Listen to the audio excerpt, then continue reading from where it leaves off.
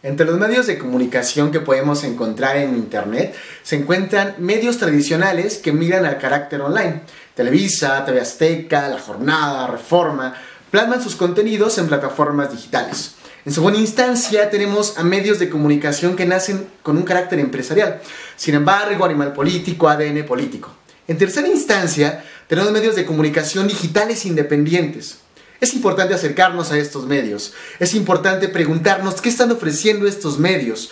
Medios que en su mayoría están conformados por jóvenes que al encontrar espacios cerrados en medios de comunicación tradicionales, migran a Internet, hacen sus propios proyectos.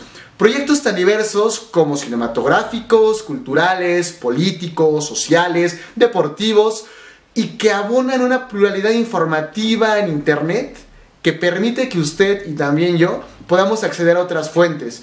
Fuentes que han cubierto temas como Ayotzinapa, fuentes que han dado a conocer diversos escritores, fuentes que abordan deportes como la pelota purépecha que de otro modo estarían ahí aislados y que en alguna medida pueden vincularse con la agenda setting, con la agenda de los grandes medios para poner ahí, en esa agenda, temas que de otro modo estarían silenciados.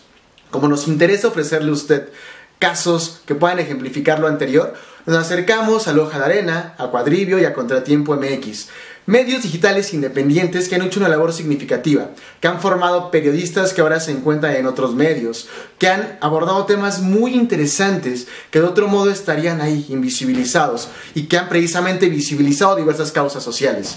Mi nombre es Luis Josué Lugo, Espero que puedan leer toda la revista, es una muy buena revista. Agradezco a Zócalo el espacio y les deseo tanto la revista como ustedes un excelente año nuevo.